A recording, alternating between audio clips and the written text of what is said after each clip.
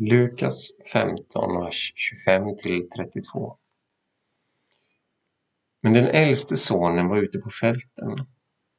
När han på vägen hem närmade sig huset hörde han musik och dans. Han kallade på en av tjänarna och frågade vad som stod på. Tjänaren svarade, din bror har kommit hem och din far har låtit slakta gödkalven och därför att han fått honom tillbaks, fått tillbaks honom välbehållen blev han arg och ville inte gå in.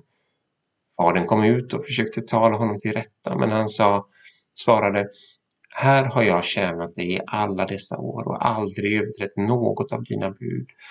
Och mig har du aldrig ens gett en killing att fästa på med mina vänner. Men när han kommer hem, din son som har levt upp din egendom tillsammans med horor, då slaktar du gödkalven. Fadern sa till honom, mitt barn, du är alltid hos mig och allt mitt är ditt. Men nu måste vi hålla fest och vara glada, för din bror var död och lever igen. Han var förlorad och är återfunnen. Den äldste sonen bör påminna om de fariseer och skriftlärda vi, möt, vi mötte i vers 2 och deras upprördhet över Guds skandalösa nåd. Också de är inbjudna till festen. Också för dem gäller en fantastisk generositet. Se fadern möta sonen i hans indignation och uppmuntra honom att ta del av glädjen.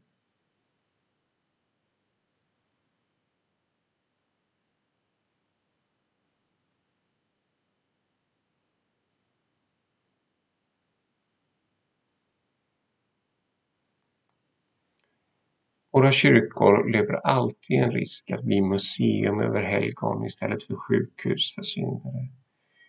Vad kan vi göra för att människor som på olika sätt trasslar till sina liv ska känna sig hemma hos oss? Gud, smitta mig med ditt hjärta så att jag i medmänniskor ser syskon att välkomna hem.